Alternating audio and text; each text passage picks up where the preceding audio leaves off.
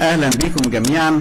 أرجو إن في هذه الاستراحة القصيرة آه، نكون فكرنا كان في مجموعة كده من الشباب قعدنا نتكلم في حاجات كتيرة معقدة.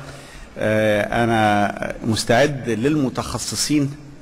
آه، نبقى نعمل جلسة أخرى عشان نتكلم على ال quantum entanglement وال superposition والأسس بتاعت ال quantum computing وال tiling problems وعلاقتها مع ال DNA وال DNA computing وال problems دي آه، يعني يكفي لأي حد حاضر إنه يعرف بس إن في تصور إن في limit لل classical computing وإن لما بنصل لل- لل limit ده في already ناس ماشية من ناحية أو ناحية تانية ففي مشوار موجود وفي تيارين في البحث العلمي شغالين النهارده بحيث إن إحنا مش هنقف.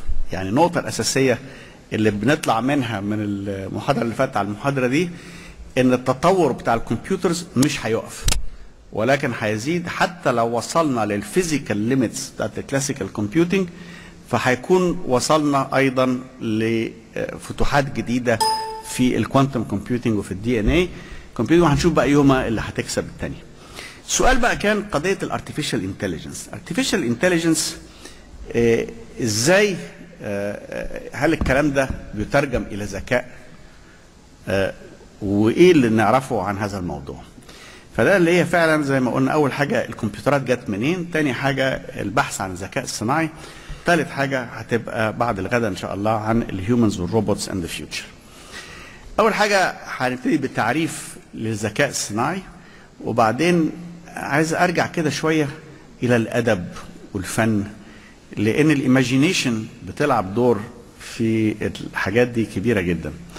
وبعدين هنتكلم على إزاي إن الناس اللي فكرت في الذكاء الصناعي الأول فكرت في ال logical perfection how do they build computer intelligence يبنوا الذكاء في ال computers وإيه اللي حصل فعلا. وفي طبعا آه، آه، زي ما هيبان دلوقتي آه، آه، اختلافات في الرأي عنيفة جدا فأنا هعمل summarization للمواقف المختلفة بتاعت كبار العلماء. ونرجع لحاجة اسمها ال mind brain problem اللي هو ال- الفرق ما بين العقل والمخ. هل العقل والمخ حاجة واحدة ولا حاجتين مختلفتين وإزاي؟ وكده برضو زي ما عملنا في الكمبيوترات رايحين فين مستقبلا هنفتح هننهي بمجال رايحين فين في الحكاية دي. فإيه ال definition؟ what is artificial intelligence إيه إيه الذكاء الصناعي؟ ال- آه، جون مكارثي اللي هو أحد ال- ال- المخترعين لكلمة artificial intelligence سنه 56 قال it is the science and engineering of making intelligent machines. ال definition بتاعته كده إن إحنا ال science وال engineering بتاع صناعة مكن عنده ذكاء. ال more general definition اللي سائدة النهارده the study and design of intelligent agents. Agents ممكن إنها تبقى آه، آه، أوسع لإنها بتقول إن هو ممكن يكون system مش مكنة. يكون system ال system ده تعريفه إنه يبقى حاسس بالبيئة المناخ اللي هو عايش فيه وقادر إنه ياخد آه، قرارات. هذه القرارات بتعمل maximization لقدرته إنه ينجح في أي حاجة بيعملها. وللي منكم بيقروا في أبحاث مختلفة يعني computational intelligence synthetic intelligence computational rationality كل دي زي ال key words اللي تستعمل في هذا الميدان. إنما أساسا إحنا بنتكلم اذا على property أو أو خاصية في المكن وفي البرامج. وإن ال system المطلوب بقى من ال system المكون من برامج ومن مكن ومن وصلات ما بين وحدات مختلفة أو علاقات ما بين مجموعة من ال agents إنه يبقى demonstrate إيه reasoning knowledge planning learning communication perception and the ability to move and manipulate objects. وهنخش بعد كده في الذكاء العام والذكاء المتخصص.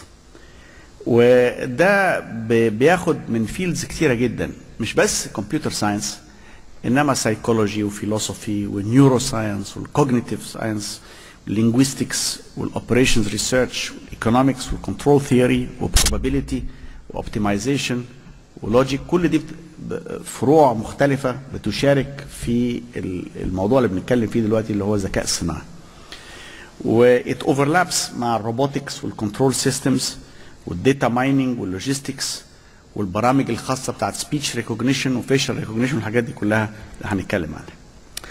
فده التعريف واسع جدا لمفهوم إيه هو الذكاء الصناعي. والناس اللي بتشتغل فيه. هنيجي بقى لل role of the imagination. role of the imagination في visionaries في التاريخ بنرجع لهم كتير فلو خدنا واحد زي ليوناردو دافنشي في عصر النهضة الأوروبية كان عالم و mathematician و engineer ومخترع و anatomist و... ورسام وفنان و botanist و musician و writer. عمل يمكن أشهر اتنين تابلوهات الموناليسا أو الجوكاندا وال Last Supper المشهورين جدا اللي عملهم لوحده. وعمل دراسات كتيرة جدا في ال codex. طبعا حتى الصورة بتاعته لتصوره لعلاقات الإنسان أصبحت iconic وبعدين كان له دراسات في مش بس ال anatomy بتاعت الانسان والحيوانات انما دراسات لمكن. ودي أجنحة كان بيتخيلها عشان الواحد يطير. وده رسم لنفسه وعمل هنا هو تصور لهليكوبتر ولجناح وعمل parachute. ال parachute ده بتاع ليوناردو ناس جربت تشوف إذا كان العملية هتنجح ولا لأ ونجحت فعلا. يعني ده عملوا باراشوت في متوسط 95 96 ودي صورة التنفيذ. في نفس الطريقة الناس اللي سبقت وقتها بالتفكير عندنا أدباء زي جيل فيرن. جيل فيرن ده من الكتاب اللي كتب سنة 1865 تصور لرحلة إلى القمر واتعمل بعد كده في أول أفلام 1907 اللي شايفينه تحت ده. التصور بتاع جيل فيرن تحقق بعد ما هو كتبه ب 104 سنة. بزيادة شوية عن قرن تصور هذا تصور هذا المستقبل تحقق فعلا. طبعا لما نيل أرمسترونج نزل على القمر سنة 69 20 يوليو 69 يبقى اذا يعني هذا النوع من التخيل له دور واذا ممكن إحنا نتصور أيضا علاقات ونشوف الناس بتفكر إزاي والناس اللي بتكتب النهارده بتفكر إزاي. جيل فيرن طبعا مات 1905 إنما كتب حاجات كتيرة منها تصور الغواصة وتصور رحلة القمر إلى آخره. اتش اي ويلز إنجليزي futurologist عمل ال Invisible Man وال Time Machine و War of the Worlds وله تصورات كثيره جدا إنما في ال War of the Worlds تصور robots ضخمة جدا آلات عسكرية عبارة عن robots ضخمة جدا وطلعت في تنفيذات بتاعت هوليوود. في أفلام رائعة عارفينها كتيرة جدا. إنما أيضا عمل التصور سماه things to come. اتكلم فيه على الصواريخ واتكلم فيه على حاجات كتيرة جدا رغم إن ده كان من زمان جدا. طب مين هم بقى من يعادل هؤلاء الناس بالنسبة لنا النهارده وبيقولوا إيه على الذكاء الصناعي؟ يعني زي بقى الادباء اللي كانوا من قرن وشوية بيتكلموا على رحلة القمر واللي قبليهم على الطيران والباراشوت. طب دلوقتي ال ال ال الأدباء بتوع دلوقتي اللي بيكتبوا ويمكن أهم ثلاثة ازيموف وهاينلاين وارثر كلارك آه بنسميهم the big three of science fiction منكم بيقروا science fiction يعرفوا الحكاية دي. والحقيقة آه عملوا آه تأثير واسع قوي. وبالذات يعني ارثر كلارك Sir ارثر كلارك دلوقتي. أنا عجباني الجملة بتاعته اللي حاططها هنا هو the world needs uninhibited thinkers not afraid of far out speculations but it also needs hard-headed conservative engineers who can make their dreams come true فيعني قدرته إنه يربط ما بين الاثنين ما بين اللي يقدر يفكر تفكير منطلق إنما المهندسين اللي هيعرفوا يحققوا هذا مطلوب. هو وستانلي كوبريك عملوا فيلم أصبح فيلم برضه نقطة فارقة اللي هو 2001 أوديسة الفضاء. الفيلم ده طلع في الستينات وكان له تأثير كبير جدا لأنه الفيلم حاول إنه يفكر علميا ويجيب علماء كتير جدا يقول لهم هل الحتة دي ممكنة علميا ولا مش ممكنة علميا؟ الفيلم آه 2001 Space Odyssey very يعني الأساس بتاعه روبوت بيتمرد على أسياده ال- البشر وبيموتهم إنما ال interesting things اللي فيه إنه اولا تصور ال space stations وكان تصوره قريب في حكاية إنهم يحتاجوا إنهم يلفوا عشان يعملوا جاذبية artificial gravity تخيل حاجات تانية آه، هنعديها دلوقتي. آه، إنما آه، وعمل sequel له إنما ال- ال- المهم إن في في الفيلم ده عمل تصور ال ال الروبوت اللي بيم- بيموت الناس ده ما هواش إنسان آلي شكله زي الإنسان. هو كمبيوتر في racks كده عاملة زي ال- اللي بنحط فيها ال- ال- أرشيف الإنترنت كده. والكمبيوتر ده ذكائه طالع من الأجهزة اللي موجودة فيه. روبرت هاينلاين آه، تصور حاجات كتيرة جدا آه، آه، إنما تصور transcendent situations وعلاقات وان الإنسان عقله بيقدر ينفصل عن جسمه ويرجع يتصل بيه تاني وتصورات مختلفة كتيرة. ايزاك ازيموف أكتر واحد فكر في حكاية ال robots. وعمل آه، آه، يعني هو له حاجات كثيرة ايزاك ازيموف إنما يمكن أهم حاجة لإيزاك ازيموف إنه أكبر أكتر واحد كتب كتب في العالم. كتب أكتر من 500 كتاب و90 ألف جواب في حياته. وبعدين آه، بالنسبة للمكتبين إحنا في مكتبة هنا كتاباته موجودة في تسعة من العشرة categories بتاع ال Dewey Decimal System كتب في كل حاجة. له كتاب جميل عن شكسبير كمان. له كتب كتيرة جدا عن حاجات كتيرة جدا مختلفة. تصور عالم مختلف تصور آه، آه، اتصالات ما بين الكواكب والصواريخ والحاجات دي. وجزء كبير من تصوراته اتعمل إلى أفلام فيما بعد. آه، إنما هو اللي تصور أيضا دور ال Robot Dreams وال I, Robot. وتصور فكرة إن الإنسان الآلي بيبقى قريب من الإنسان وهيبنى إنه يبقى مشابه لصورة الإنسان وإنه آه، يعني فكرة إن إحنا ممكن إن إحنا نبني حاجة إنسان آلي يشابه ال- الإنسان الحالي في الذكاء وفي وحتى في الشكل يعني. ف آه، السؤال طيب هو يعني حتى أنا أقدر أبني آه، إنسان شكله زيي أو آلة شكلها زيي ولكن هل طريقة تفكيرها والذكاء وشعورها شعورها بالغضب بالمحبة بال هل هيبقى شكله إيه ده؟ وهيتعمل إزاي؟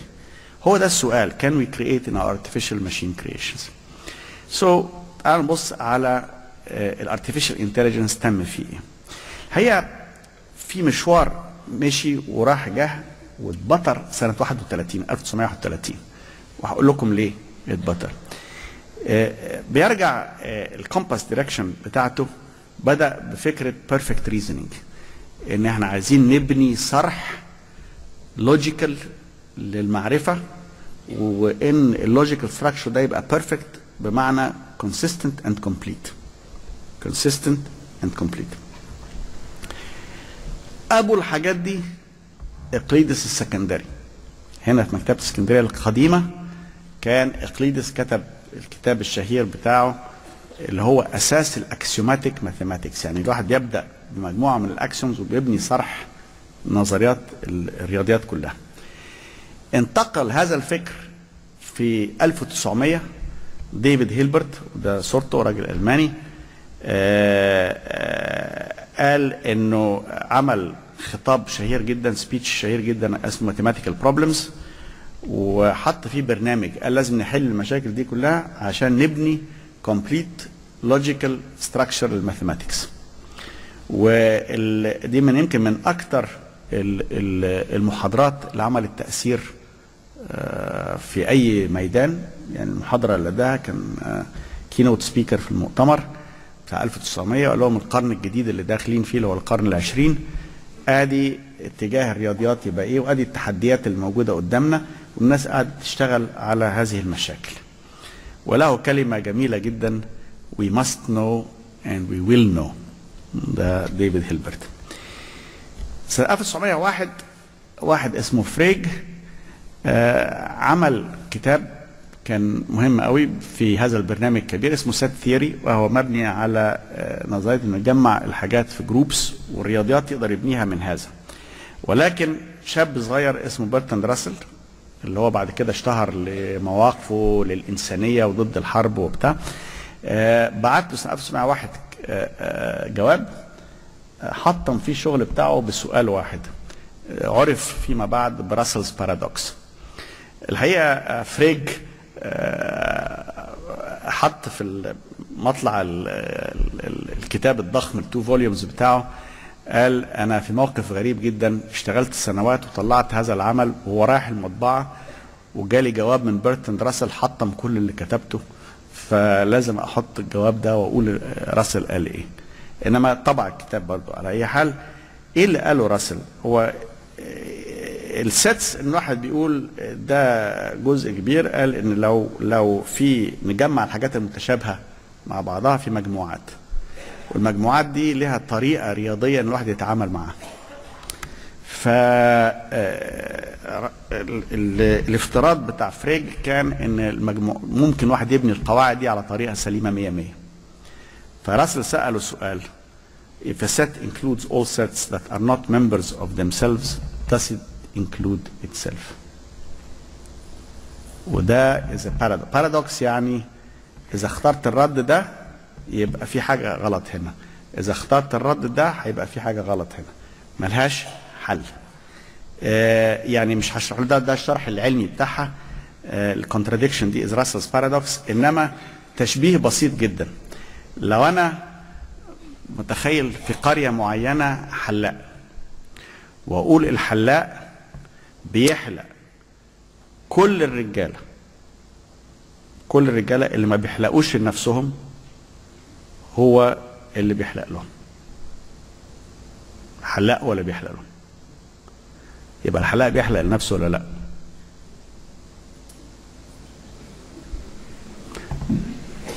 يعني هنا it is the set بتاع ملهاش حل. إذا اخترت كده إذا إذا إذا دخلت انه يحلق لنفسه يبقى بتتعارض مع part of the definition. لأنه وإذا إذا اخترت إنه ما يحلقش يبقى تعارضت مع another part of the definition إن هو they are all all those who do not shave themselves are shaved by the barber. فده is paradox. يعني أنا بسطت هنا ال paradox بتاع راسل في مثل آه، حي يعني. آه، نتيجة لكده كان في مشكلة كبيرة حصلت في ال logic راسل بقى ما سكتش هو وألفريد نورث وايت هيد قالوا نحاول إن إحنا بقى نبنيها سليمة سيبك من شغل فريج ونبنيها إحنا وعملوا أكبر عمل من نوعه اللي هو اسمه Principia Mathematica Principia Mathematica ده آه، عمل ضخم جدا. آه، ألفريد نورث وايت هيد وبرتون راسل حاولوا اعادوا كل صياغة ال mathematics في أربعة volumes قد كده. آه، لو أقول لكم مثلا إثبات إن 2 زائد 2 يساوي 4 بتاخد ثلاث صفحات من الرياضيات المتعمقة. إنما أساسا هو عايز يبتدي إن ما ما اعترفش بأي حاجة وابتدي ب basic axiomatic structure زي بتاع إقليدس زمان. آه، ال system ده استمر وفترة من الزمن استمر. إنما بدأ ال structure الفكري في العالم يتغير. اتهز اولا من ألبرت أينشتاين. لأن ألبرت أينشتاين فتح مجال لاستعمال ال non-Euclidean geometry كل الناس دي برضو سواء هيلبرت فريج وراسل متأثرين بإقليدس. اقليدس كان عشان تعرفوا أهمية مكتبة اسكندرية القديمة شوف مأثرة على الناس لغاية بداية القرن العشرين تأثير عميق جدا. جاء ألبرت أينشتاين استعمل ال- ال geometry بتاعت جاوس ولوباشيفسكي وريمان non-Euclidean geometry فلاول مرة الناس بدأت تفكر يعني دي حاجات كانت موجودة كده ك curiosities لا بدأت تخش في المجال العام. وطبعا مفهوم ال relativity بقى غريب وبداية ال quantum physics كانت بتسأل ناس تساؤلات كتيرة جدا. جاء واحد اسمه ويتجنشتاين فيلسوف كتب كتاب اسمه Tractatus Logico-Philosophicus بيقول إن المشكلة الأساسية في التعامل ما بين الناس وبعضها هو اللغة وإن اللغة بتاعتنا فيها ambiguities وال ambiguities دي آه، ممكن إن إحنا نعمل تعديلات في اللغة بحيث تبقى perfectly logical لسه الناس بتدور على perfect logic أديكم مثل لامبيجيوتي أنا أقول مثلا آه، محمد السماك آه، خد جاد ووصله الاجتماع مع محمد الفحام. وبعد ما يخلص الامتحان ال- ال- ال- الاجتماع هو هيوصله لو أنا بوصف لهذا الوضع هيوصله لاجتماع آخر مع آه، دكتور مجدي ناجي مثلا. هو التانية دي تبقى مين؟ could be إن محمد الفحام بعد ما هيقابله هو هياخده يوصله عند الدكتور مجدي وممكن تكون إن محمد السماك هيستناه وياخده من عند الدكتور محمد الفحام يوديه للدكتور مجدي. هو دي بنستعملها طول النهار في الكلام بتاعنا ولكن بالنسبة للمكنة بقى والتعليمات فيها امبيجيوتي ال ambiguity عايزة تتحل. فهو ويتجنشتاين قال لك لا إحنا ممكن نعمل structure في اللغة يزيل ال ambiguities دي. ضربة الضربة القاضية جت واحد اتنين. نمرة واحد جت 27 واحد اسمه فيرنر هايزنبرج آه، قال ال uncertainty principle على فكرة بقى ده اللي هو قال في ال physics إن ما نقدرش في two parameters ما نقدرش تقيسهم مع بعض. إذا قست ال mass مظبوط هيبقى ال movement غلط وإذا قست ال movement مظبوط يبقى ال mass مش هتبقى هتبقى approximate آه، عمل تأثير في الناس هزة إن العلم اللي إحنا فاهمين إن هو becoming more and more precise في حاجة uncertain. ال uncertainty principle على فكرة معلوماتكم هايزنبرج was 26 و he won the Nobel Prize وعمره 31 سنة آه، على هذا العمل يعني آه، شخصية كبيرة جدا يعني. فدي كانت الضربة الأولى، الضربة الثانية جت من هذا الشاب اللي اسمه كيرت جوديل.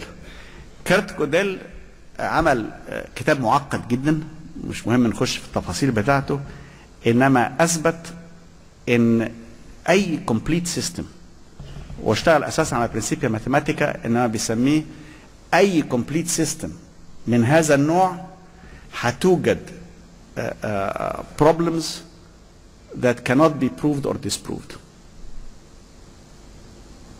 يعني عمل على مستوى متقدم قوي. نفس الحكاية اللي عملها راسل مع مع فريج في أول عملها هو على شغل راسل وايت هيد وقال وأثبت وده فعلا mathematics cannot be both complete and consistent. Gödel's proof ده جوديل مع أينشتاين سنة 54 لما كانوا في برينستون سوا. Gödel's proof أنهت كل المحاولة إن الواحد يبني structure perfectly logical سواء في اللغة أو في ال science أو في ال mathematics ففكرة إن هنعمل حاجة يعني لازم نرجع للأسس عشان نبني نوع جديد من التفكير مبني على perfection has been abandoned as a result of الشغل ده.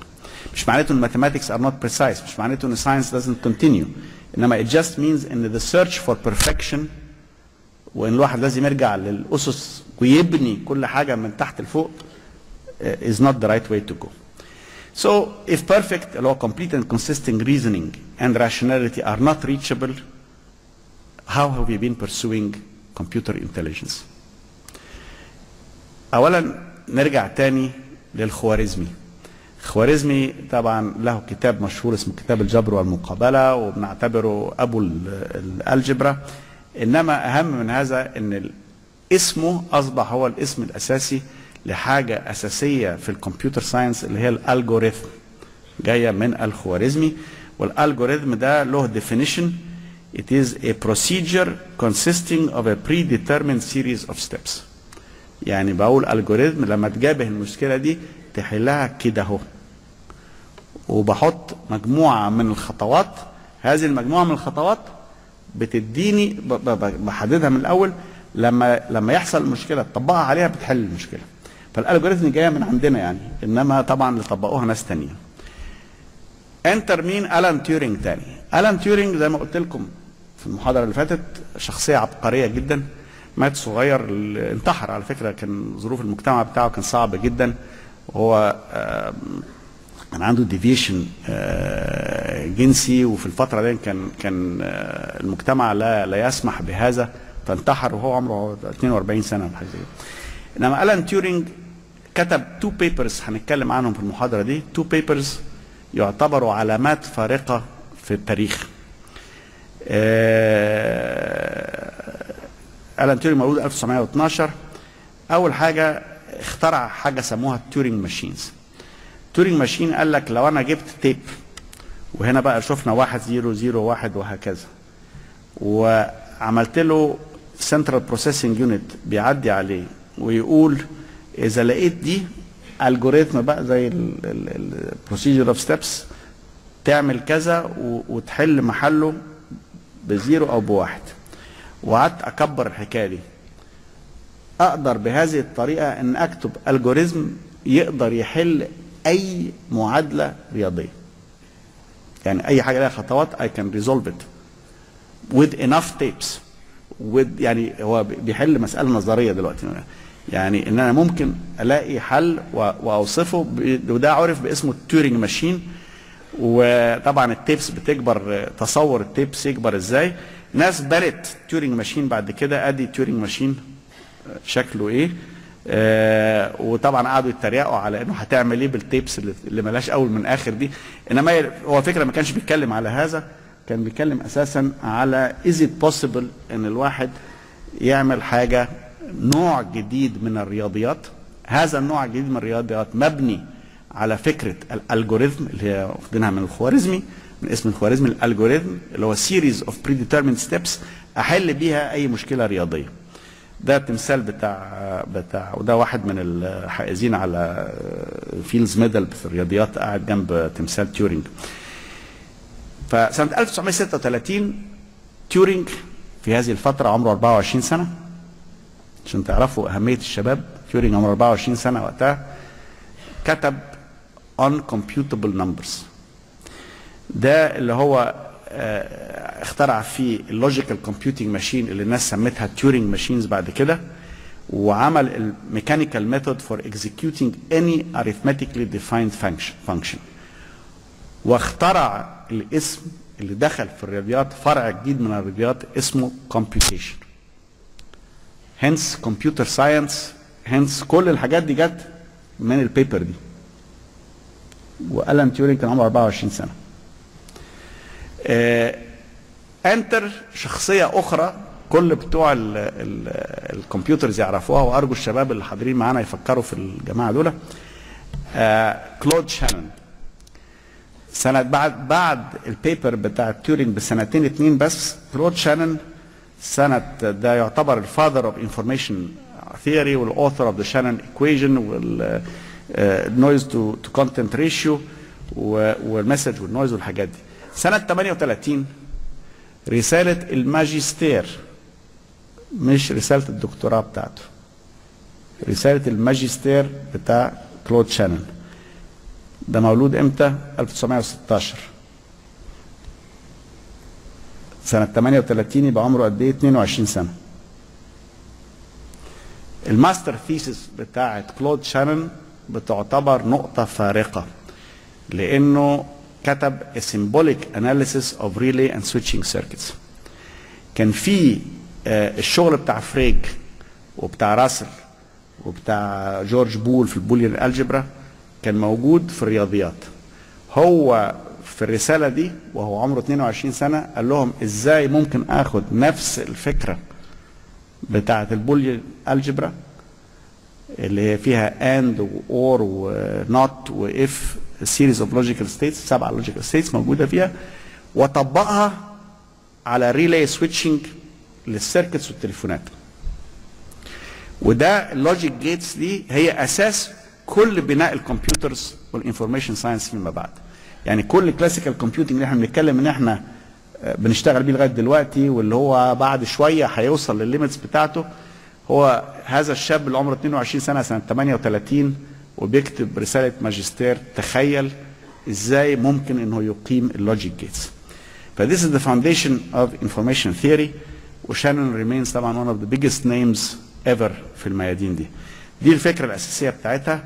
إنه ال analysis اللي كان بيعمله فريج وراسل في حاجة بيسموها truth tables بيتحول إلى logic gates و De Morgan equivalence ودي ال ال العرض بال Venn diagram يعني ده سهل. x و y اللي هو both x and y يبقى الحتة دي بس. x and y يبقى واخد الثلاثه دول مع بعضهم. وده x but not y يبقى الحتة دي بس وال x non intersect y يبقى كده فالمهم بتحولها إلى logic gates وتطبقها. نهاية 6 38 39 بتبتدي الحرب العالمية الثانية مع الحرب العالمية الثانية سنة 40 تيورينج بياخدوه في بلاتشلي بارك بلاتشلي بارك ده كان مكان اللي الإنجليز كانوا بيجيبوا فيه آه، عقول علماء ورياضيين عشان يحلوا الشفرات الألمانية. فهو حاول يعمل developing devices وعمل ال Bombes اللي أنتوا شفتوها الأول دهيا عشان يحل الشفرة بتاعت ال ال ال الجهاز الألماني اللي كانوا بيسموه الإنيجما ماشين. دي قصة لوحدها قصة طريفة جدا. إنما المهم فيها إن هو فعلا عمل مجهودات كبيرة وكان بداية التفكير في الكمبيوتر وسنة 44 عمل كولوسس وفي أمريكا 45 عملوا إنياك. في نفس الوقت بقى ما أنا قلت لكم ان في, في حديث عن الذكاء الصناعي هنخش لها برضو بنضفر شغل من threads مختلفة من علماء مختلفين. سنة 43 ال neurobiology وارن ماكولوك ومع mathematician اسمه والتر بيتس آه، قالوا إن ال ال ال ال brain ده بيشتغل بال neurons to understand brain عملوا موديل مبني على العلاقات ما بين ال neurons وبعضها. وإنه صوروه ودي نقطة بقى هتقعد معانا طول القرن ده لغاية دلوقتي. لأول ما قالوا عشان تفهموا ال brain تخيلوا ال brain ال neural networks دي عبارة عن شبكة تليفونات فيها on and off switches الكلام بتاع شانون من شوية. فال on and off switches دي بتعمل إن النيورونات اللي في مخنا بتتصل ببعضها وبتبعت كهرباء. إما إنها الكهرباء دي بتبقى on or off فممكن نتخيل ال brain as a large system معمول. ودول الناس اللي اشتغلوا والتر بيتس وهومبرتو ماتورانا وجيري ليتفين وجماعة تانيين سنة 44 جورج بوليا في ال mathematics بقى. بيشتغل mathematics pure لوحده. ستانفورد بروفيسور كتب How to Solve It والفكرة فيها he proposes an approach. How to formulate ال problems to resolve them. مسماها اللي ومنهم ال random walks و Monte Carlo simulation وحاجات كتير. إنما مهم إن إن فيها إن جورج بوليا قال لك إن إحنا ممكن السؤال مش بس زي ما كان تيورينج بيقول في الأول سنة 36 how can I transform a series of arithmetic steps? آه وشانون صور ال logic structure تتعمل إزاي engineering wise لا هو قال هو السؤال بيجي إزاي بتطرح السؤال و how to formulate وعشان تقدر تطرح الرد بتاعه اللي هو بعد كده هيبقى ال algorithm بتاعه. فاشتغل على الحكاية دي. وسنة 44 في كتاب آه كلاسيك جدا يعني يعتبر فعلا قمة ما بين اثنين جون فون نويمان وأوسكار مورجنستان كتبوا The Theory of Games and Economic Behavior. وده آه الكتاب ده آه نقطة برضه فارقة في مفهوم الاقتصاد ومفاهيم كتيرة جدا بقى في ميادين كتيرة جدا. فكرة الاستراتيجية. إزاي أعمل استراتيجي؟ و game theory وقالوا مثلا آه لو لو اتنين بيلعبوا قصاد بعض في حاجات zero sum games ما تتحلش زي مثلا لو أنا بلعب شطرنج معاك يا أنت تكسب أنا هكسب. بنلعب طاولة يعني أنت هتكسب أنا هكسب. ايا كانت القواعد بتاعت اللعبة ما فيش ده zero sum يا ده بيكسب ده ما يكسبش. إنما في ألعاب أخرى واستراتيجيات أخرى ممكن تؤدي إلى التعاون. وإن التعاون بيجيب outcomes أفضل للطرفين مع بعض.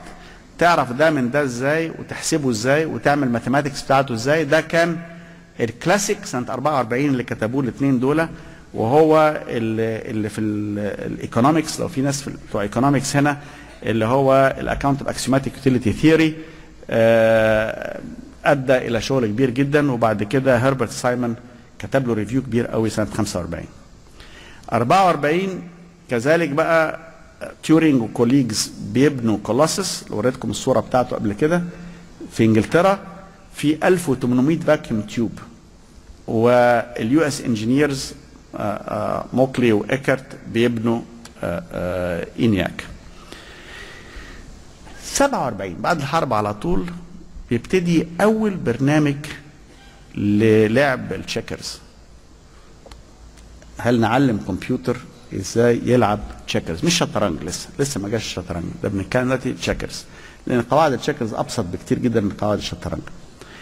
فالدمات دي فآرثر ساميولز كان عمل أول برنامج من سنة 47 وسنة 48 نوربرت وينر آه كتب كتاب Cybernetics اللي هو communication and control in the animal and the machine. In the animal and the machine.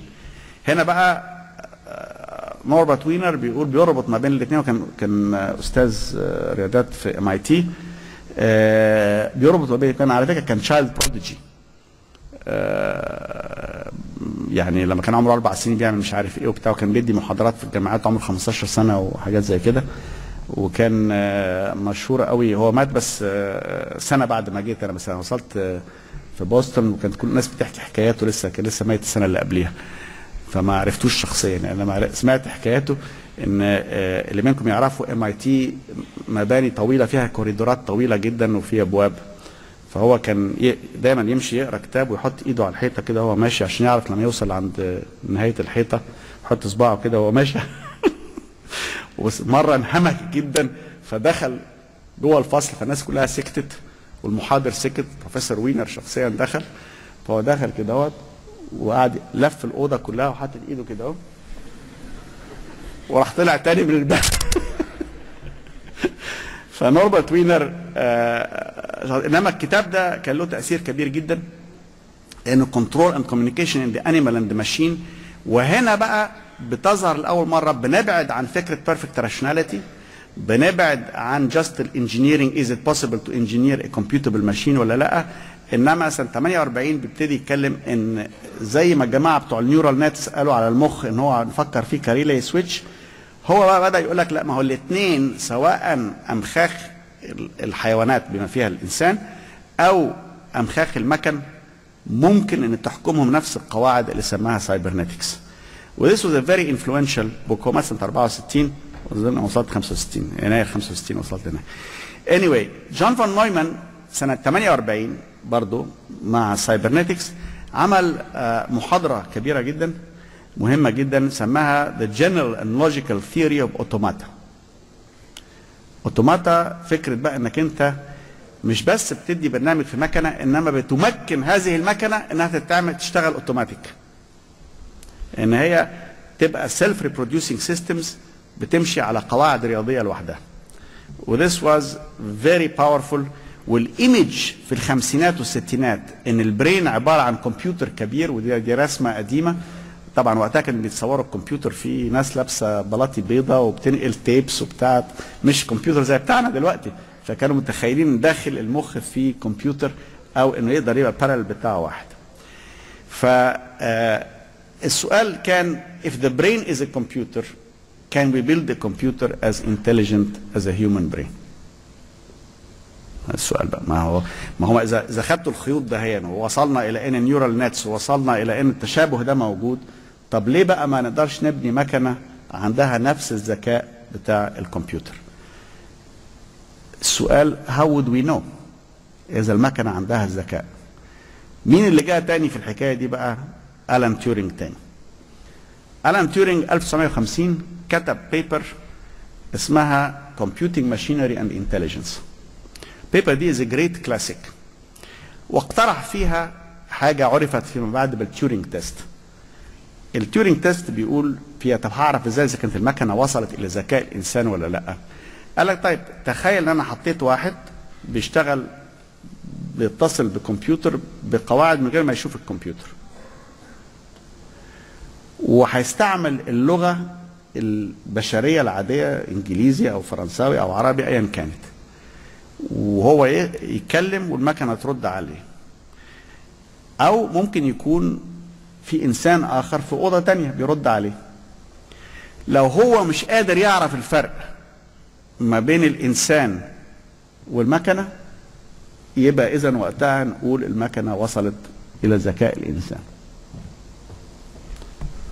اللي قاعد ده مش شايف في حد بيرد عليه وبيخش في حوار إذا مش قادر يعرف اللي بيتحاور معاه ده إنسان ولا مكنة يبقى المكنة وصلت لذكاء الإنسان. ده يعني تبسيط لل Turing test بصورة واضحة. In the meantime عشان تعرفوا يعني تيورينج وشانون وأمثالهم بيفكروا لقدام قد إيه؟ ده كان لسه المكن كده. الكمبيوترات اللي كانوا بيتكلموا عليها هم anticipating إنهم هيعملوا communication وان common language وإنه هيحلوا مسألة ال ال ال إن الكمبيوتر هيتطور إلى هذه الدرجة. يعني كان في already التصور ده موجود. فسنه 1950 أول كمبيوتر programmable الانياك والكولوسس كانوا fixed ال program فيهم. إنما فكرة إن يبقى عندك processing unit و input و out ويبقى له program وال program ده يتغير اللي هو فكرة ال software وال hardware ال applications اللي بنحطها على الكمبيوترات دلوقتي بدأت بالادفاك سنة 50 نفس السنة اللي كان تيورينج بيكتب فيها ال paper بتاعته. ونفس السنة بدأ أول برنامج لل computer chess كتبه شانون في paper تانية. كلود شانون كتب paper كلود شانون ده طبعا شخصية dominant في حاجات كتيرة جدا ويكفي زي ما بقول لكم ان لما كان عمره 22 سنة في ال master thesis بتاعته لغاية دلوقتي أهو شوف بعديها بكام ب 70 سنة the other side of the world في اسكندرية قاعد بتكلم على ال master thesis بتاعت كلود شانون في MIT سنة 38 يعني. فكتب أول برنامج computer chess سنة 56 عملوا مؤتمر جون ماكارثي ومارفن مينسكي. أول مرة قالوا نعمل حاجة اسمها ذكاء صناعي artificial intelligence. The word artificial intelligence was coined في الدارتموث سمعت عمل في جامعة دارتموث وقعدوا شهر. المؤتمر كان عبارة عن شهر. ناس بتفكر مع بعض مش بتقدم بيبرز بتفكر مع بعض في قضية الذكاء الصناعي. وبعديها بخمسين سنة خمسة من الأصليين رجعوا تاني في دارتموث كانوا عاملين احتفالية كبيرة بالحكاية دي وده منهم آه، ده ده مكارثي و- و- وده آه، آه، مينسكي. مكارثي ومينسكي هنا. آه، 56 برضه لنفس الفترة دي ألان نيول وهربرت سايمون آه، عملوا أول برنامج عام مبني على أساس ال symbolic manipulation هنا عايز أوصل نقطة مهمة قوي اللي هو فكرة ال symbolic manipulation إن أنا بحط مجموعة من ال symbols وبقول للكمبيوتر تحرك ال symbols بالصورة دي. وإن ال symbolic manipulation دي هل هي تعادل الذكاء ولا لا؟ دي قضية هتيجي بعد كده. ال symbolic manipulation approach ل artificial intelligence أصبح بعد كده خيط من الخيوط بتاعت البحث العلمي فيها.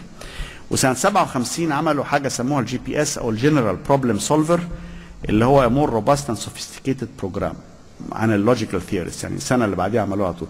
وده عامة أظن يعتبر فعلا أول برنامج in the real sense of of programming modern programming بيبدا مع ال GPS بتاعهم. و, و آه، سايمون بالذات اللي على اليمين ده آه، سايمون ده شخصية آه، فريدة جدا آه، لأنه عمل contributions في, ميادين كتيرة جدا. آه، أخذ Nobel Prize في ال economics آه، اشتغل في البرمجة اشتغل في ال physics اشتغل في حاجات كتيرة جدا.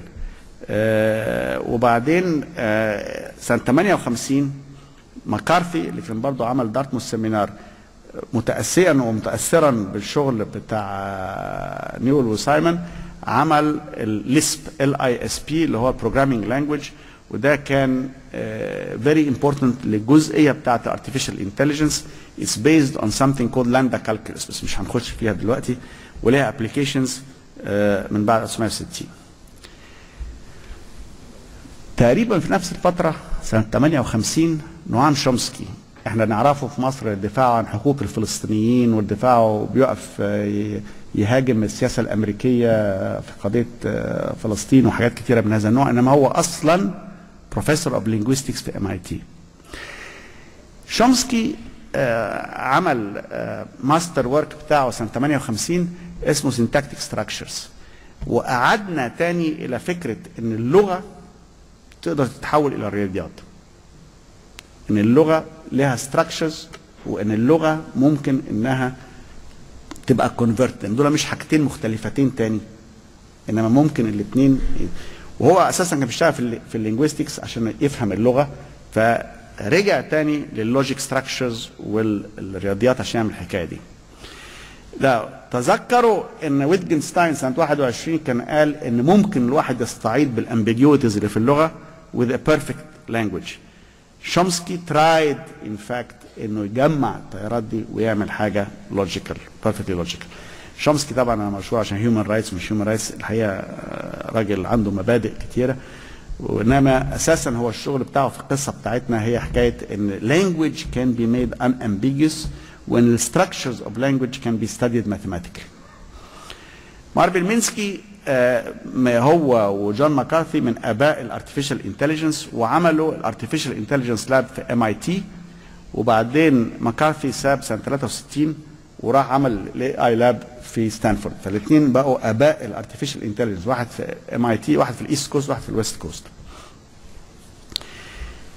في هذه الفترة الناس بدأت تتكلم إن المكن هيبقى عنده نفس ذكاء الإنسان وال brain is computer وإن اللغة ممكن تبقى mathematics طلع الفلاسفة. ودخل الفلاسفة المتخصصين في الرياضه على فكرة في فلاسفة متخصصين جدا في الرياضيات يعني مش مش مش بعيدة يعني عن بعضها. جي آر لوكاس 59 كتب paper اسمه Minds, Machines and Gödel وبيقول إنه مش ممكن إن المكن هيوصل للقدره بتاعت مخ الإنسان لأن مخ الإنسان عنده طريقة تفكير مختلفة عن طريقة تفكير المكن وجوديلز بروف بتاع 31 أثبت إن الفكرة إن الواحد يعمل برنامج متكامل perfectly rational is not possible. وطول ما الاوبستكل ده موجود مش هتعرفوا تبنوا مكنة عندها نفس قدرة الذكاء وقدرة التفكير بتاعت الإنسان. بعديه ب 20 سنة بالظبط يعني هنا 59 إلى 79 صديقنا داجلاس هوفشتاتر اللي جالنا هنا في مكتبة اسكندرية سنة 2005 كتب كتاب مشهور قوي اسمه Gödel, Escher, Bach وهي argues فيه على إنه لا إن ممكن إن يحصل هذا الذكاء وإن ذكاء مختلف وإن طريقة التفكير لازم تبقى على systems بأكملها مش على حل مسائل محددة. آه لوكاس ما زال هو بقى أصبح رئيس آه مجموعة من الناس اللي رافضين فكرة إن الذكاء الصناعي ممكن يصل إلى ذكاء الإنسان. سنة 62 حصل أول حاجة. تفتكروا لما قلت لكم بدأنا بال checkers program ال checkers program تطور لدرجة إنه ال defeated ال local champion بتاع ال checkers سنة من, من 47 إلى 62 أول مرة البرنامج هزم بطل في اللعبة. إنسان بقى هزم إنسان. وسنة 65 جوردن مور ال co-founder of Intel عمل ما عرف ب Moore's law أو قاعدة مور وقال فيها إن إحنا هنزود عدد ال transistors نحطها على integrated circuits exponentially doubling approximately every two years. وآدي Moore's law وآدي كيف تحققت فعلا إنها وصلت مثلا من هنا كان 2000 سنة 72 2500 ترانزستور هنا 125 مليون ترانزستور في ال Pentium 4 فال growth exponentially this is known as Moore's law وبعدين ده هنا قاعد مع wafer ال wafer طبعا بتحط lots of circuit chips جنب بعضها وتعملهم في, في بتاع كبيرة كده زي ما أنتم شايفينها تبقى قدراتها كبيرة جدا. ال Moore's law دي أصبحت النهارده بالنسبة لاكثر حاجات أثرت على صناعة ال computers في ال 40 سنة اللي فاتت.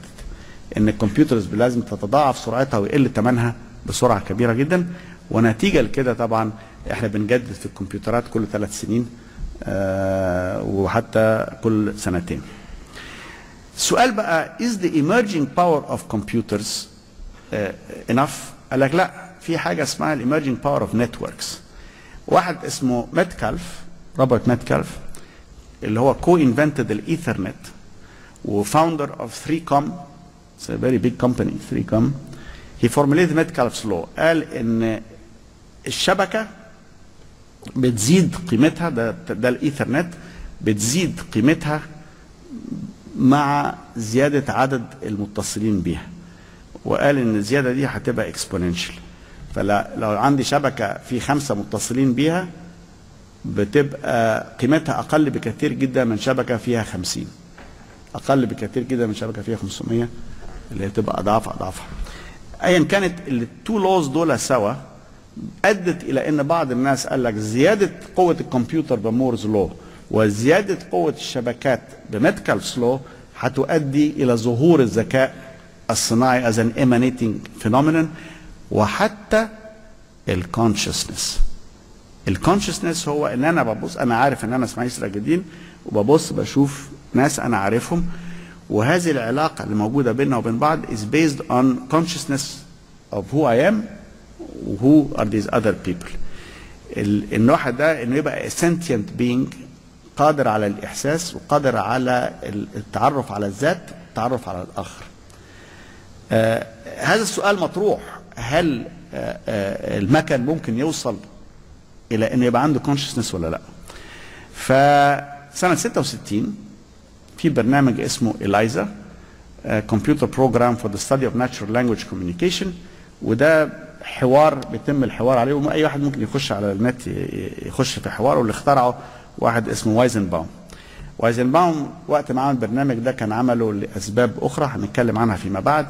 ولكن أهم حاجة في قصة هذا البرنامج آه، هو إن وايزنباوم ده سنة 66 شوفوا بنتكلم على حاجة من أكثر من 40 سنة. يعني بنتكلم شوف الناس دي كانوا pioneers قد إيه وقتها. وايزنباوم من الناس اللي النهارده النهارده وإحنا 2007 و2008 بيقول أنا خايف من التطورات اللي عمالة تحصل. Things are going too fast. ده وايزنباوم is not the only one وبيل جوي ال co-founder of Sun Microsystems فالناس اللي بتكلم معاهم دول ما هماش marginal figures دول عمالقة ثورة ال computers في العالم اللي هم بيتكلموا pro and against في الكلام اللي بقوله دلوقتي. الحوار ده الأطراف اللي فيه عمالقة. ف he was born in Berlin. وال father of the ELIZA program who is now back in Berlin. سنة 67 آه، Mac Hack the MIT program كتب واحد اسمه ريتشارد جرينبلات defeated واحد critic بتاع ال artificial intelligence في الشطرنج. ودريفس من الناس اللي قال cannot be done. آه، مينسكي كذلك قال إن البحث في ال neural nets في المخ is not important. إحنا لازم ندور على وسائل أخرى للبحث على ال artificial intelligence 76 حصل تطور مهم قوي آه، MYCIN اللي هو أول expert system إيه ال expert system الناس قالت طيب أنا لو بجيب دكاترة بيشخصوا حالة بيشخصوا الحالة إزاي؟ فتشخيص الحالة الدكتور بيبص على symptoms معينة. طيب ما نس- نسأل إيه الحاجات اللي بيبص عليها؟ وندخلها في كمبيوتر. وبعد كده يقول لك إذا طلعت في كذا كذا كذا يبقى أدور مثلا طب على على ضغط الدم ضغط قد إيه؟ طيب يبقى ده ال next question فبدأوا يعملوا برنامج في decision tree decision tree ده من مبني على معرفة الناس ولكن أساسا بيتعمل كله بالكمبيوتر. فنتيجة لكده مثلا واحد مزارع ممكن في أي حتة يخش على expert system ويقول أنا قدامي نبات كذا عليه الظاهرة الفلانية. expert system يرد عليه يقول له طيب هو لونها أبيض ولا لأ؟ يقول مثلا آه لونها أبيض. يسأله سؤال تاني يقول له طيب هل لما بتفركها بصبعك بتقع ولا لأ؟ وهكذا لغاية ما يوصل لدرجة يقول لك يبقى اذا غالبا النبات اللي قدامك ده مصاب بالمرض الفلاني. التحليل ده.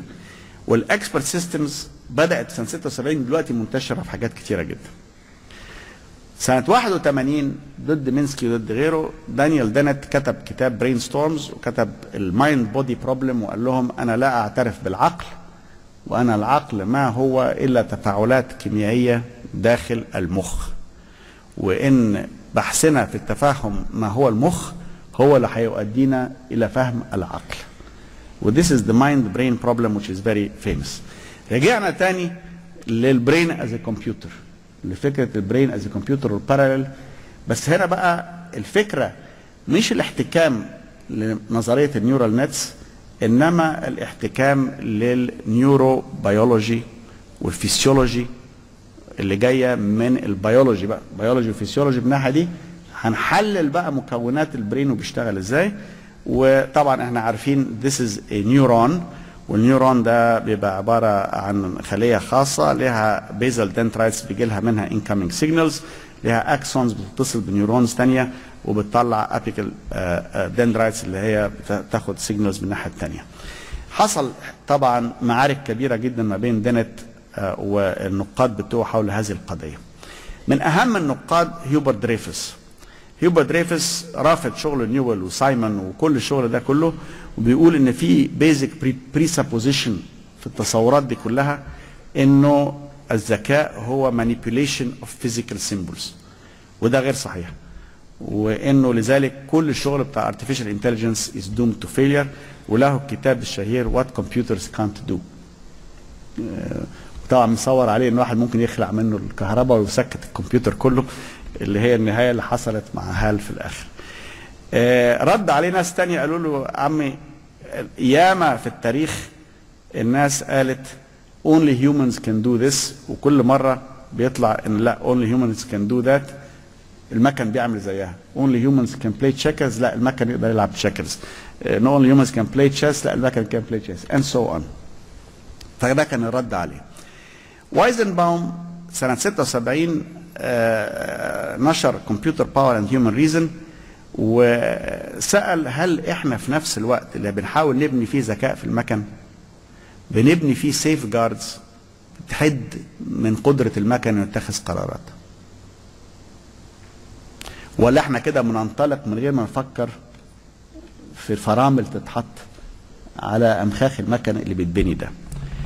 77 كين تومسون بدأوا chess playing programs وكين تومسون ده على فكرة co-inventor of Unix اللي هو البرنامج المفتوح ال open source system و79 الكتاب الشهير بتاع Gödel, Escher, Bach اللي نشره وأخذ Pulitzer Prize عليه آه، داغلاس هوفشتاتر سنة 80 جون سيرل أصبح أهم آه، مهاجم لفكرة ال artificial intelligence نشر كتاب اسمه Minds, Brains and Programs طرح فيه فكرة ال Chinese room ومن سنة 80 يعني دلوقتي 28 سنة ده ما زال بيعتبر أهم argument ضد ال artificial intelligence جون سيرل على فكرة زي philosopher يعني والكتاب مترجم إلى اللغة العربية كمان. قال لو أنا سيرل قاعد جوه أوضة مغلقة completely وما أعرفش صيني وبيجي لي حاجات مكتوبة بالصيني. بس معايا very big rule book باللغة الإنجليزية. وال rule book ده مفصل جدا. ويقول لي إذا جالك ال symbol ده صيني تختار من الكوَر اللي عندك ورا دي الكره اللي شكلها كده أو ال symbol اللي شكله كده وتحطه في ال out box فده بيجي لي incoming وبطلع output input وطلع output ماشي على قواعد. القواعد مكتوبة بالإنجليزي. أي واحد قاعد بره العلبة دي هيقول اللي في العلبة دي بيفهم صيني. لأنه بيحط لي صيني من ناحية وبيطلع له ردود صيني من الناحيه الثانية إنما أنا جوه العلبة ولا بعرف صيني ولا اتعلمت صيني ولا قادر أعرف إيه اللي بيحصل بره العلبة دي لأن أنا محصور في ال rule book بتاعي. واللي أنتوا بتتكلموا عنه في الكمبيوتر ده ان أنتوا بس عايزين تكبروا ال rule book.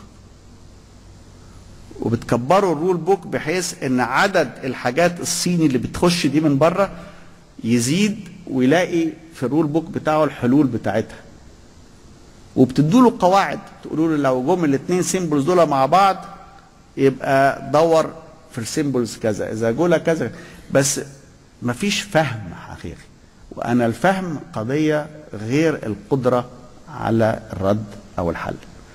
وبالتالي يقول لك حتى لو رجعنا لل Turing test لو بنينا كمبيوتر ممكن إنه يخاطب الإنسان ويديله ردود تبان مقنعة هل فعلا حصل ذكاء؟ هل حصل فهم؟ هل حصل تعلم؟ التعلم بتاع الكمبيوتر مبني على أساس فيدباك لوب بتقول له فيها بس لو حصل الثلاث حروف دول مع بعض لازم تعمل الحرف الفلاني. لما لقى ما فيش الحرف الفلاني بتدي له فيدباك لوب حروف أخرى. فبيزودها على قاعدة البيانات اللي عنده. ال Chinese box problem ده أو التصور ده ما زال إلى يومنا هذا أكبر نقد لفكرة الذكاء الصناعي. لأن هو أساسا بيقول لك مهما عملت أنت عمال تكبر ال rule book طبعا التشبيه بال programming واضح جدا يعني بالنسبة لل computers آه، فجون سيرل آه، عملت great debates الحكاية دي views into the Chinese room والفلسفي وال debates والحاجات دي كلها.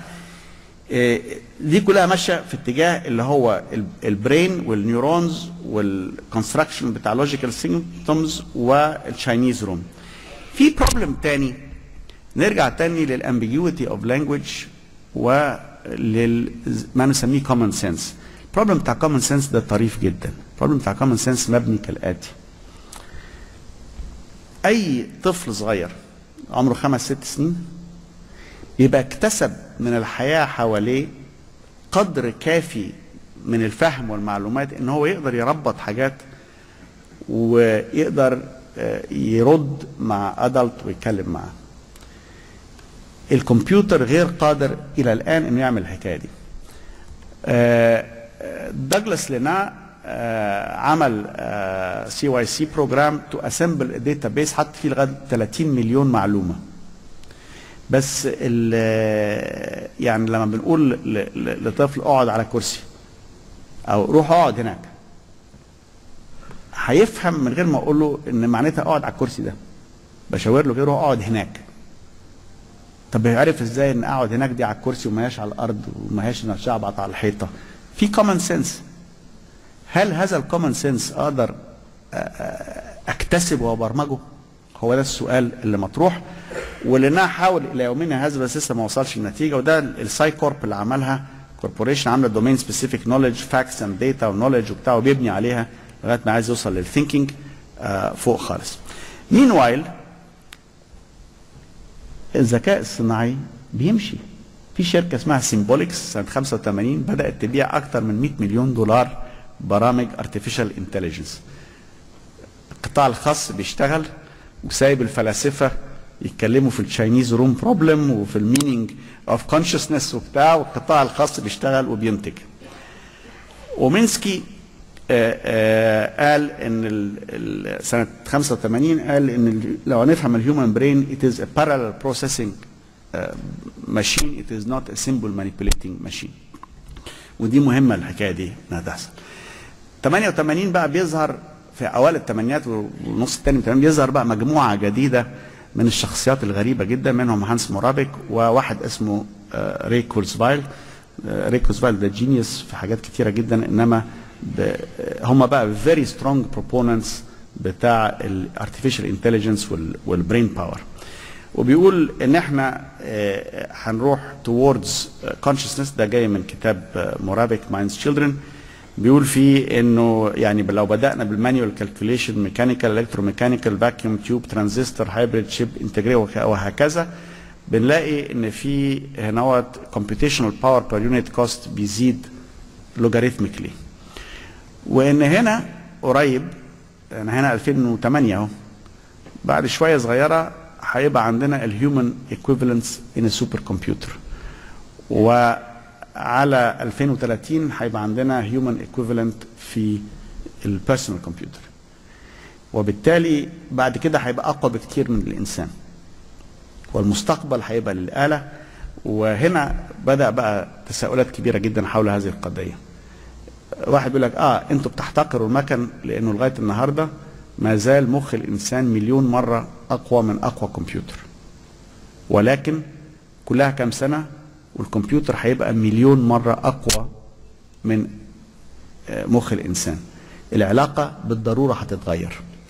فمرابك بدأ يفكر في الروبوتس وعمل الكتاب بتاعه بتاع روبوت. و robotic fingers و souls in silicon ومش عارف إيه. ودانت طلع الكتاب بتاعه Consciousness Explained وقال ال consciousness هو عبارة عن neurons ونقدر نعرف ال neurons موجودة إيه. ري كورزفايل بقى ده شخصية آه، فذة جدا واخترع حاجات كتيرة جدا منها text to speech synthesis واشتغل لل blind كتير عمل حاجات شغل لل blind كتير برامج اللي تحول ال text to speech وعمل electronic music keyboard وعمل حاجات كتيرة جدا. ونشر كتاب اسمه The Age of Intelligent Machines تنبأ فيه إن الكمبيوتر هيهزم بطل العالم في الشطرنج سنة 98 وسنة 97 جاري كاسباروف اللي هو كان بيعتبر أحسن لاعب شطرنج في العالم هزمه الكمبيوتر ديب بلو بتاع اي بي ام in one of the most important matches Deep Blue defeated جاري كاسباروف سنة 97 حتى سنة قبل التنبؤ بتاع آه، كورزفايل. كورزفايل بيبني على الحكاية دي يقول لك أنا قلت لكم حكاية كاسباروف ما كنتوش مصدقيني والكلام اللي بقول لكم ده إنه هيحصل سنة 2015 و2020 هيحصل بس أنتم مش عايزين تصدقوني. ولو حصل هيحصل قبل كده مش بعد كده كمان. آه طبعا حصل debates كبيره جدا. هيوبرت دريفوس ضد دانيال دانت ما معنى إن ديب بلو defeated كاسباروف دريفوس بيقول له طب وايه يعني ما أنا أقدر أبني آه مكنة أقوى من أي لاعب كورة وتشوط الكورة أقوى وتمشي أسرع. هل معناتها إن لعبة الكورة هتتغير لوجود المكنة دي؟ لا. ملهاش معنى الحاجات دي. دانت بيقولوا لا أنت مش عايز تعترف باللي حصل. في أفلام كتيرة اتعملت على إزاي آه، آه، وكتابات كتيرة على ديب بلو كاسباروف عمل draw مع ال X3D مكنة تانية إنما أساسا الفكرة بقت. نرجع تاني لبتوع الرياضيات. ومن أهمهم آه، آه، روجر سيرولوج في اوكسفورد راجل عامل tiling problems ورجع تاني إلى فكرة إن المخ قادر إنه يحل مشاكل. المكن ما بي- بيخش في loops ولما يخ- مكنه تخش في loop أو برنامج يخش في loops مش هيعرف يطلع منه. إنما البني آدم عنده مقدرة إنه يطلع منها بإنه المخ بتاع البني آدم بيتقبل ال ambiguity بيتقبل ال imperfection وبيتقبل ال irrationality بينما البرمجة للمكنه لا تتقبل هذا في النهاية لأن اللي بيكتب البرنامج لازم يبتدي يحط له قواعد معينة. روجر بينروز عمل tiling problems وحاجات مشهورة جدا هو راجل مشهور جدا. 99 ري كورزفايل نشر The Age of Spiritual Machines تنبأ في إن إحنا داخلين في فترة جديدة لل evolution وإن ال evolution اللي جاية المكن هيحل محل البني آدمين. وإن إحنا هيبقى لنا علاقة جديدة مع المكن لما المكن هيوصل قدرته تبقى مليون مرة أقوى من من مخ الإنسان بالضرورة العلاقة هتتغير. هنرجع لل predictions بتاعت كورزفايل دي في المحاضرة النهائية إنما أساسا هو بيقول خدوا بالكم آدي ال- النقط الخضراء دي هي الحاجات اللي موجودة عندنا فأنا متوقعين بقى إن الجزء اللي هيزيد ده لغاية هنا إحنا دلوقتي يا دوب وصلنا أكتر من insect ويمكن قربنا من الماوس. وبعدين على 2020 هنوصل ل 1 human brain إنما 2040 المكنة هتبقى أقوى من ال collective brains of all of humanity المكنة هتوصل أقوى. بعدين هو في الكتابة يعني ده, ال diagram إنما الرسمة بيقول ده ال hardware ال software هيتأخر ما بين 10 إلى 20 سنة. لأن ال hardware بيمشي أسرع من ال capacity to develop the software إنما آه، ده التصور بتاعه فهنا بنرجع تاني it is assumed إن قوة الكمبيوتر بالضرورة هتؤدي إلى machine intelligence و even الconsciousness. Is it going to happen or not simply by having this very large number of things. ما هو الناس اللي بي, بي argue that يقول لك طيب ما هو المخ عبارة عن 100 مل مليار خلية نيورون.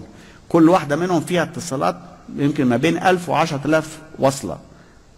والعشرة دول they are firing at up to 200 times per second. هذا الكم الرهيب جدا emanates منه ما نسميه ال consciousness والذكاء وبتاع. إذا عرفنا نبني كده هل من المكنه هيطلع نفس ال consciousness والذكاء ولا لا؟ ده السؤال اللي هو مطروح قدامه النهارده. وري كورزفايل is not an armchair theorist بنى مثلا ال- الشخص ال virtual reality بتاعت رامونا دي آه، وبناها وهقول لكم عنها كمان وقدمها سنة 2001 في نيويورك. ورامونا دي آه، عملها rock and roll singer إنما أهم من هذا حطها على ال website بتاعته ك hostess تقابل الناس وتكلمهم وإلى آخره. وشكلها طلعت virtual reality على المسرح معاه في لما عملوا في ماديسون سكوير جاردن في نيويورك.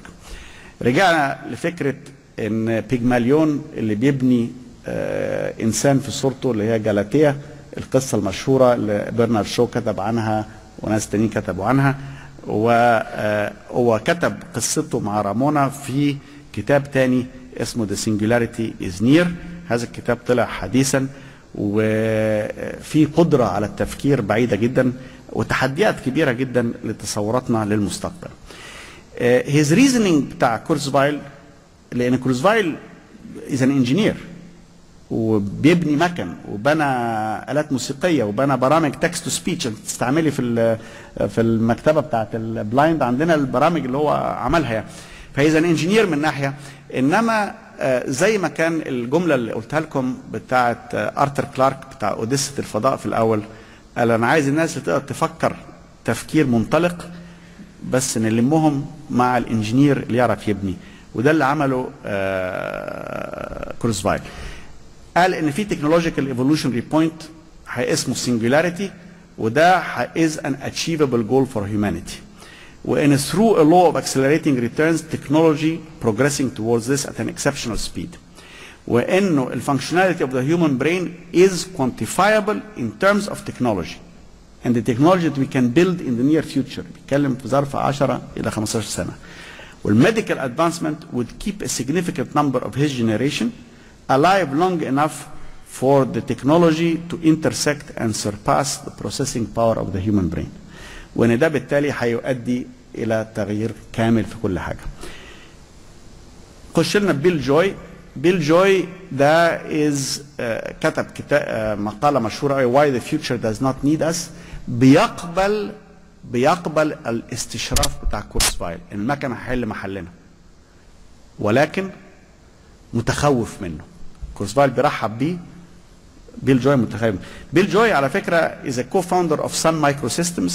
Is the legendary programmer of BSD uh, Unix بتاع بيركلي uh, يعني شخصيا ما- دول دول العمالقة بتاع ال fields يعني هم اللي بيتصارعوا مع بعض دول كلهم عمالقة ال fields ولا مش peripheral أو marginal people أو kooks يعني.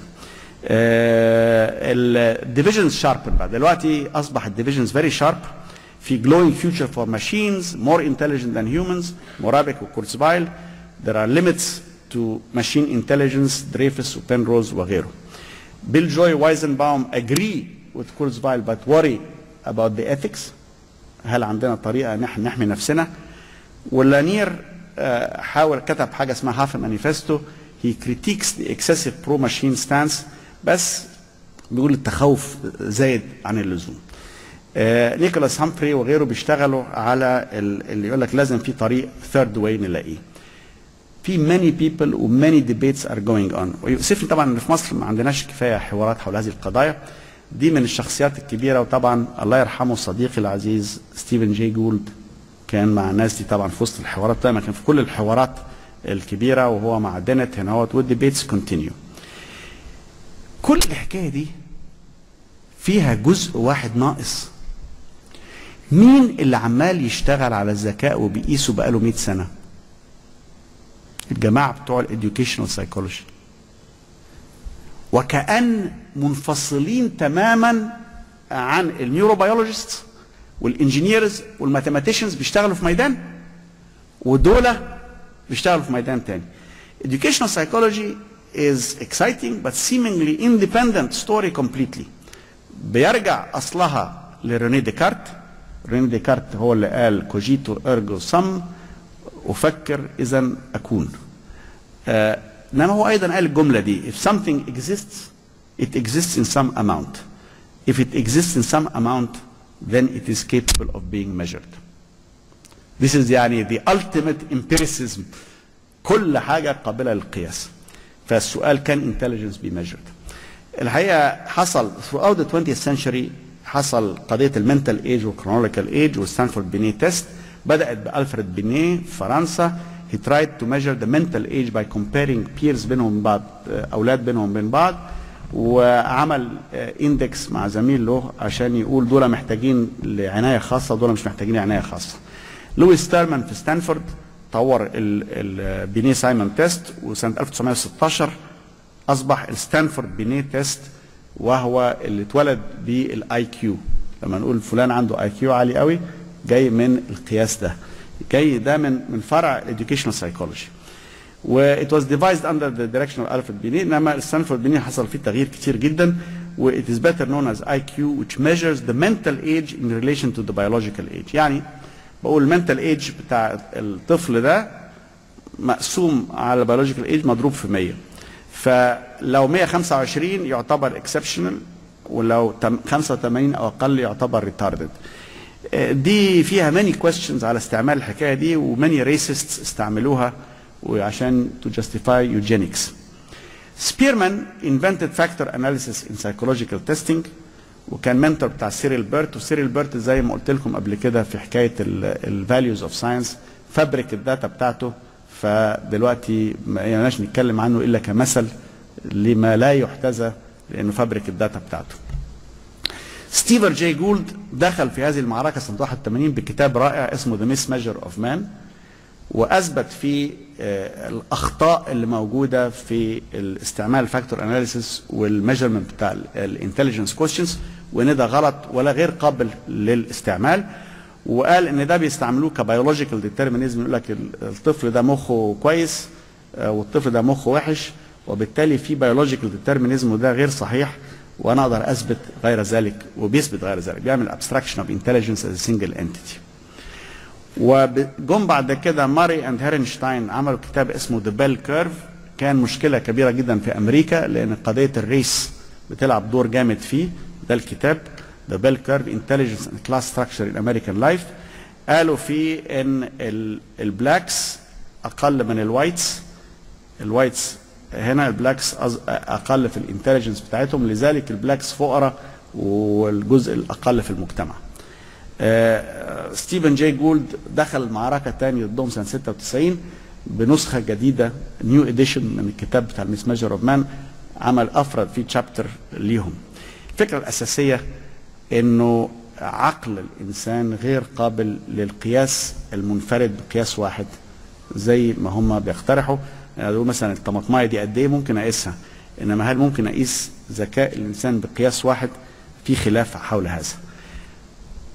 يدخل مين؟ لويس ليون ثيرستون وفكرة ال primary mental abilities قال إن في حاجات مختلفة في verbal comprehension و word fluency number facility spatial visualization memory speed حاجات كثيره جدا.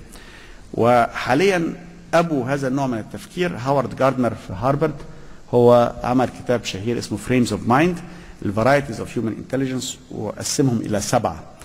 وده التعريف بتاع إزاي يقيس one of these intelligences. إنما أساسا قال القدرة ال linguistic مش بالضروري إنها ماشية مع ال mathematical. ال logic وال mathematical بتمشي مع بعضها. musical ability موتسارت ما يشترطش إن موزارت يعرف يكتب أدب عظيم ولا اللي بيكتب أدب عظيم يعرف يكتب موسيقى. والسبيشال والبوديلي والبيرسونال والانتربيرسونال اويرنس سيلف اويرنس فبالتالي قال إن لازم نطلع من فكرة إن في مقياس واحد اللي هو intelligence quotient إنما في varieties of human intelligence طبعا لما نبتدي بقى ناخد الكلام ده ونرجعه تاني على اللي بنعمله في المكن يبقى بنطرح بقى تصورات جديدة ما بقتش بقى عدد ال neurons وعدد ال computations إنما في varieties to think about. In the meantime, the engineers and the philosophers continued their debate. For what has been achieved as we speak today? Do machines think? Can machines be conscious? Alan Turing قال لنا if they speak like a human then they are as intelligent as a human. فإلايزا أنا قلت لكم إلايزا البرنامج اللي عمله وايزنباوم. This is an actual application of إلايزا. اليوزر بيكتب هي واحدة ست بتكتب men are all alike. فإلايزا ترد in what way? They are always bugging us about something or other. Can you think of a specific example? Well, my boyfriend made me come here. Your boyfriend made you come here? He says I'm depressed much of the time. I'm sorry to hear that you are depressed. It is true, I am unhappy. Do you think that coming here will help you not be unhappy? I need some help, that much is certain. What would it mean to you if you had some help? Perhaps I could learn to get along with my family. Tell me more about your family, and so on. Did Eliza pass the Turing test? Actually, not really. لأن uh, هو the Rogerian psycho psychotherapy اللي بيستعمل كموديل it is one of the very few cases where the psychiatrist, the other party, is allowed to present themselves as if they have no background knowledge. ال psychiatrist المفروض إن هو ما يتدخلش انما يطلع من الطرف الآخر فالبرمجة بتاعت إليزا بتسمح لها إنها تستعمل key words وترجع ترجع تسأل أسئلة وتلاغي الشخص الآخر إنما it is not a true intelligence معنى إنها قادرة إنها تطلع إجابات لوحدها. طب ال chess programs اللي هزم كاسباروف the context is very constrained له قواعد محدده جدا في الشطرنج و64 مطرح على اللوحه فقط. How about evolutionary software اللي هو artificial life وايفولوشن بتعمل في البرامج ده is it not they mimic ecosystems well interacting agents have very limited abilities and fixed program البرين many will say is more than a device operating on bits of information according to formal rules طب ناس سألت هل الانترنت كشبكة كلها على بعضها هتطلع السوبر كونشسنس دي الانترنت زي ما إحنا عارفين القصة بتاعته حكيتها لكم من شوية unlimited size of the networks can a sentient intelligence emanate from it can it collectively be a universal Turing machine or is it just an accumulation of pages Science is advancing every day وكلمة أخرى لآرثر كلارك قال any technology that is sufficiently advanced seems like magic. And summarizing the position, a Turing test قلنا الماشين if it acts intelligently it's okay وده التصور بتاع دارتموث. نيويل and سايمون قال لك لا a physical symbol manipulation system is the essence of intelligence is symbolic manipulation. روجر بينروز قال لك ال Gödel's incompleteness theorem بتحدد limit على اللي هتقدر تعمله المكن واعتمد على جودالز بروف جون سيرل ريجكتد السترونج اي اي بوزيشن واتكلم على التشاينيز روم ارجيومنت الارتفيشال برين ارجيومنت إن the brain can be simulated الارجيومنت that combines the idea of a complete universal Turing machine can simulate any process مع الفكرة إن any part of the brain can be simulated. Pro Ray Kurzweil, Hans Moravec, and others, machines will not only duplicate human, they are going to exceed it. Bill Joy وجوزيف وايزنباوم accept بس خايفين. دريفس والتانيين رافضين يقول لك لا consciousness is different it is not feasible it is not simple manipulation. Intelligence, expert systems and defined tasks has definitely been achieved including chess. Generalized intelligence like common sense has not been achieved. المايند برين بروبلم ستيز وذ اس مع إنه ده من أقدم المسائل من أفلاطون لأرسطو لجيلن لديكارت لوك لهالر لكانت لميل كلهم اتكلموا على الفرق بين العقل والمخ. إيه اللي نقدر نعرفه في هذا؟